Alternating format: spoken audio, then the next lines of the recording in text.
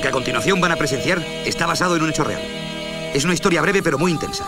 Este que ven aquí, por ejemplo, es el guarda forestal del bosque de álamos milenarios de Bustarviejo. Y ven con tus amigos, ven, ven, ven a Los Ángeles de San Rafael. Y ven con tu familia, ven. ¡Oigan, no me vean que estoy aquí! Nuestro relato, sin embargo, tuvo lugar en otra zona.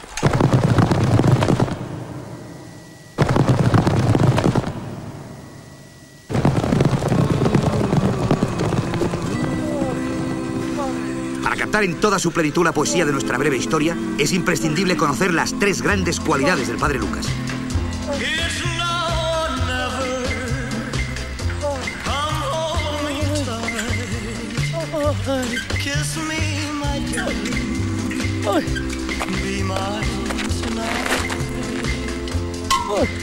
Una era sin duda su extrema generosidad.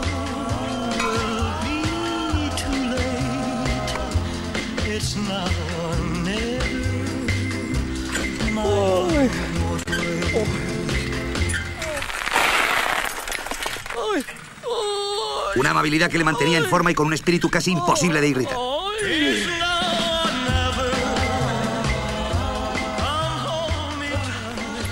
Dele usted un poquito de caña, padre, que va pisando huevos. Pinedo, probablemente entre los dos o tres hombres más tranquilos del mundo. La paz y el equilibrio eran los dos pilares de su vida. Una vida en definitiva sosegada. Hasta que ayer a última hora iba por primera vez mal de tiempo.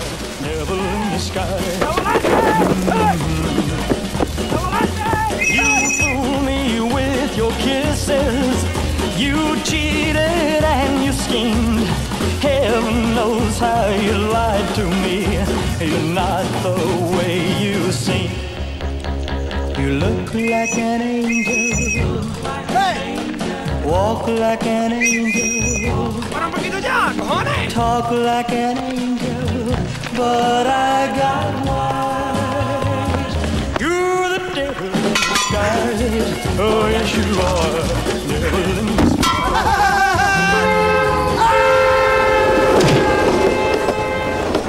Aunque no de forma evidente, Pinedo buscaba siempre respuestas para las grandes cuestiones. Anda, que cómo será el careto del capullo que ha puesto ahí ese poste.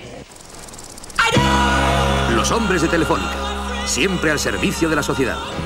Contra viento y marea, en invierno y en verano, de día y de noche, colocando postes al azar por toda la geografía española y conectando así las ilusiones de millones de personas que pagan sus facturas sin rechistar. Son hombres y mujeres móviles que hoy están aquí y mañana allí. Porque la vida es un ir y venir. Como esta música, por ejemplo, que está cogida de un disco por la cara. Esto significa que los chicos de Queen no van a ver un duro a costa de este cortometraje. ¿Por qué? Pues porque se está utilizando para beneficio de una causa noble.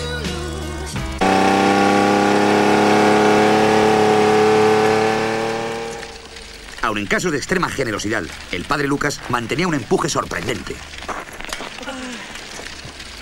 Él sabía que pocas cosas costaban tan poco, sobre todo cuando se reciben palabras de aliento. ¡Venga!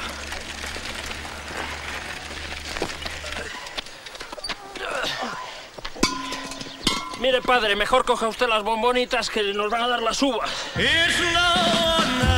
Tranquilo. Kiss me, my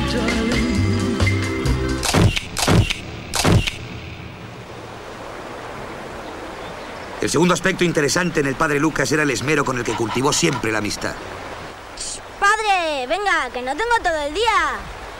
Apunta bien, ¿eh? Que somos amigos. Venga, hombre, tranquilo, no se mueva, que no va a haber ningún problema. Sabía muy bien que no importaba tener un único amigo, si era realmente sólido. Perfecto, ¿eh? ¿Quieto ahí?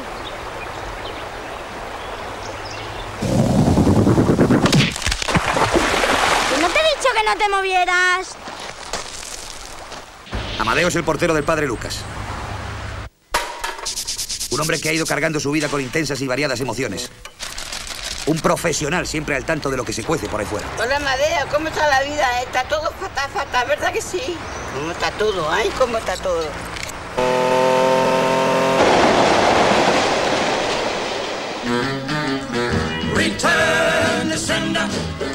Solamente un día antes de que Pinedo andase mal de tiempo, mantenía su empleo en la vieja gasolinera del camino que va de Torrevieja de Matute a Mira el Río de las Fuentes.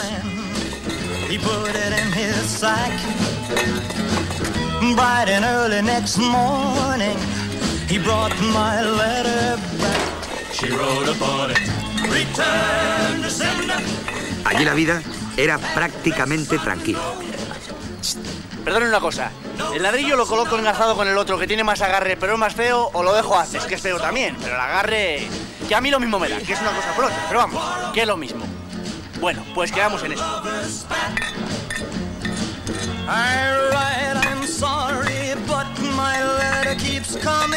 back. Aquella mañana fría, aquella mañana fría, y rodeado de paz y sosiego, Pinedo escuchó como 30 o 40 helicópteros sobrevolaban la gasolinera. ¿Cómo? ¿200.000 pelas a la hora de helicóptero? Pero chico, pero chico, ¿tú qué mundo vives? ¿Pero tú te crees que yo soy subnormal? Pero si te estoy diciendo que es para un corto de mierda. Que no, hombre, que no, que es para que pasen por encima un rato. Pero qué dieta, ni qué dieta, ni qué leche de dieta. Tomad por culo la dieta. Hombre, le voy a decir yo a este tío cómo se hacen los helicópteros en el cine.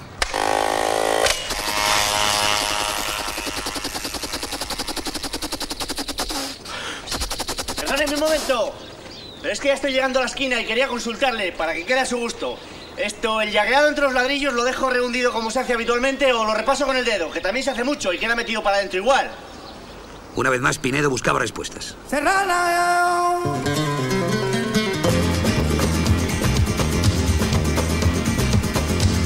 Para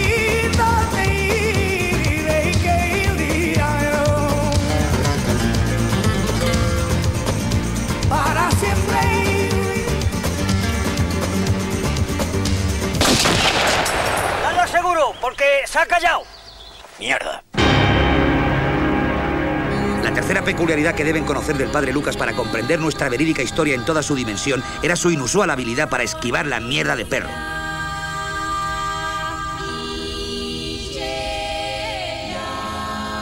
Aquella radiante mañana de primavera, el padre Lucas no la esquivó. Fue la misma mañana en que el guarda forestal del bosque de álamos milenarios de Bustarviejo creyó ver un oso grande entre la maleza.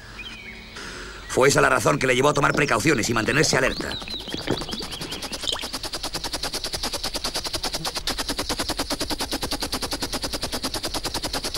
Sí, hombre, sí, sí, yo sé que no es lo mismo. Pero escucha, tú eres un director joven, talentoso, con proyección social, pero estás verde. Mete el plano de los caballitos. Hazme caso que a la gente le gusta el ritmo de los caballos. Tacatá, tacatá, tacatá. Cuando no encontraba respuestas, Pinedo entornaba los ojos y soñaba con un grupito de tres caballos galopando al amanecer.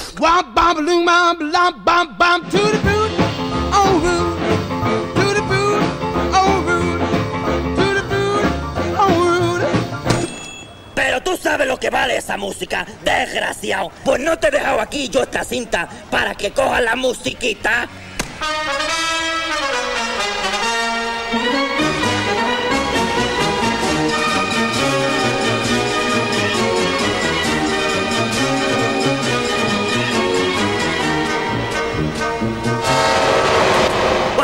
Único que sí habría que decidir para que quede a gusto de ustedes es si corono el murete con yeso mismo, que es barato aunque algo sucio, o con hormigón, que también se ensucia, pero que de precio más o menos porque hay que enfoscar. Que es lo mismo, a ver si me entiende, porque luego va pintado todo de blanco. Lo que yo quiero es que queden contentos, contentos. ¡Eh, tú, chavales! Es a mí. Sí, a ti. Y a ver cuándo te lleva las bombonitas, que llevan ahí 15 días. Ya no pasa, ¿eh? Yo me las llevo, se lo juro por el Nupi. Bueno. La misma tarde del día en que el guarda forestal del bosque de álamos milenarios de Bustarviejo le pareció ver un gran depredador, el padre Lucas, que aún conservaba en su oreja excrementos de perro, salió de su casa en avioneta acrobática. Pero una imagen vale más que mil palabras. Efectivamente, motivo por el cual no hay imagen en esta secuencia.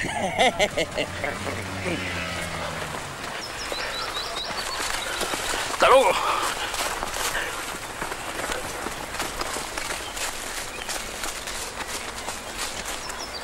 Coño, el oso en persona. Es ahora y solo ahora, tras este cúmulo de sucedidos, cuando estamos en disposición de asimilar en toda su magnitud la auténtica historia que nos ha traído hasta aquí. El secreto de la trompeta.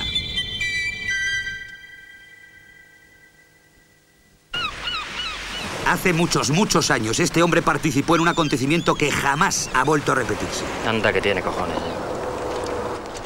Fue el último en enterarse de que el guateque que se celebraba en casa de Gutiérrez por fin no era de disfraces.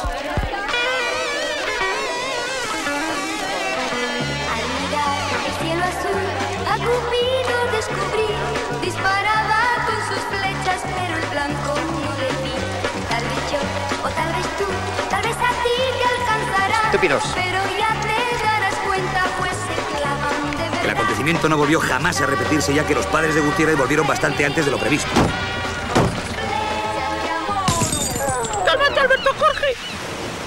Pero vamos, de esto hace lo menos 15 o 20 años. Os jodéis.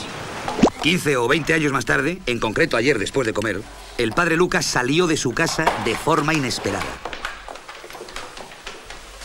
Llevaba dos bolsas grandes. Nunca más se tuvo noticia de aquellos dos paquetes. Quién sabe si en su interior se encontraba la codiciada regla de oro. Soplad con fuerza el único y verdadero secreto de la trompeta.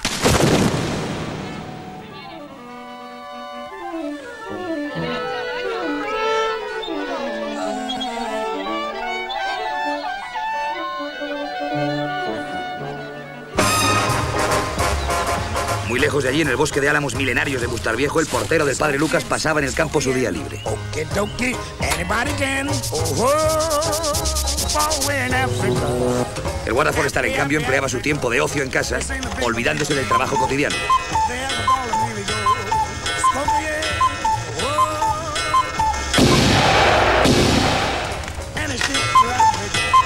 El secreto de la trompeta no llegó nunca a desvelarse, pero el padre Lucas sabía que lo único importante era tener amigos. No importaba la cantidad, sino que fuesen sólidos. Pero entonces, ¿por qué huía Pinedo de la autoridad? ¿Por qué los caballitos corrían al amanecer? ¿Por qué el niño amigo del padre Lucas era tan así? Y sobre todo, ¿por qué la vida en la vieja gasolinera del camino que va de Torrevieja de Matute a Mira el Río de las Fuentes era prácticamente tranquila? Sí. Pues la vida en la vieja gasolinera del camino que va de Torrevieja de Matute a Mira el Río de las Fuentes era prácticamente tranquila. Y solo prácticamente porque a escasos kilómetros de allí, en concreto a un kilómetro escaso de allí, estaba el circuito de Fórmula 1 de Jaramillos de la Sierra y raro era el domingo que no se despistaba algún piloto.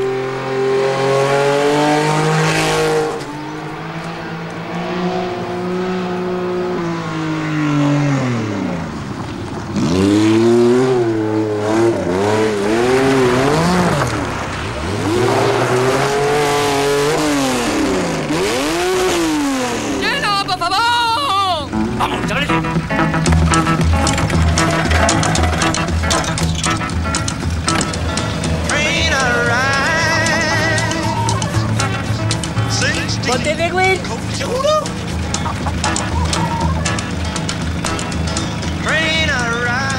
¿Grilés? ¡Dos veinte duros! ¿Pino? ¿Dónde está el bote? ¡Que me voy!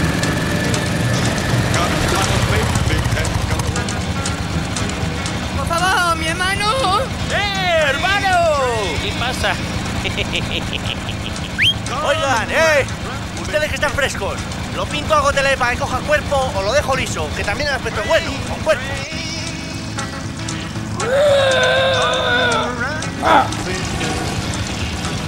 A ver si me entienden, que luego son ustedes los que van a disfrutar de la barbacoa. ¡Mi hermano! ¡Eh, hermano! Ha dicho mamá que no vuelvas a casa sin traerte las dos bombonitas.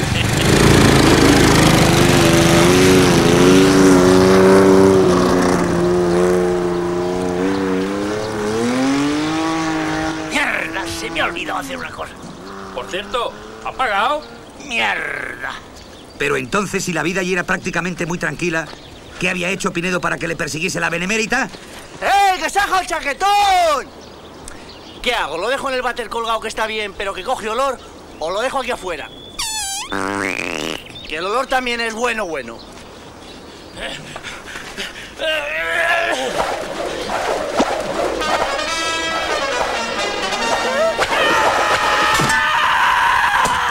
Bueno, pues yo me voy a ir marchando. Sí, sí, pero no te olvides de las bombonitas.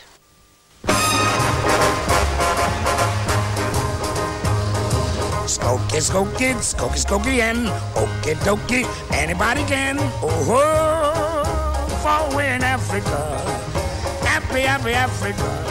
They sing the bingo, bingo, bingo. They have a ball and really go.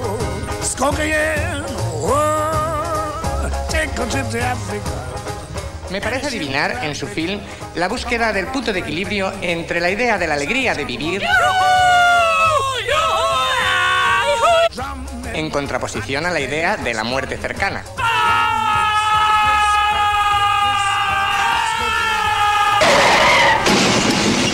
Nos gustaría un comentario de su boca. Bueno, en la boca lo que tengo es ferdenillo. You ling along like a king, right in the jungle, along low. Skokie, skokie, skokie, skokie, and okie dokie, anybody can. Skokie, skokie, man, a man, a man, you sing a bingo, bingo, bingo, oh. and hokey, pokey, skokie, and.